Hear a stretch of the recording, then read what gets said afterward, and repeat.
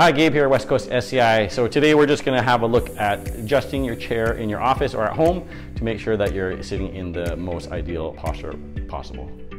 So Brandon here is sitting in this chair. Uh, it's actually already set relatively well for him. What we want is a 90 degree angle at your knees and approximately 90 degree angle at your hip. Our chair here doesn't allow a tilt of the bottom seat.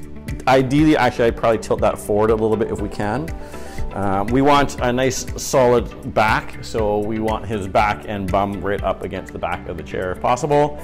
If for some reason you cannot fit, we'd put a little stool under his feet to make sure his bum can get all the way back.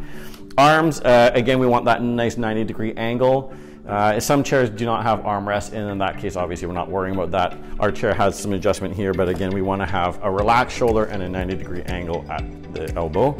So again, thanks for watching these videos. I hope you do get something out of that. Do make sure you comment or like us or dislike us even for that matter. We love to get some feedback from what you think of our videos. We also do have our YouTube channel, so please give us a follow. And if you do have any questions, feel free to direct message us. We are available here at Westcoast SCI. Uh, we'll see you next time. Thanks for watching.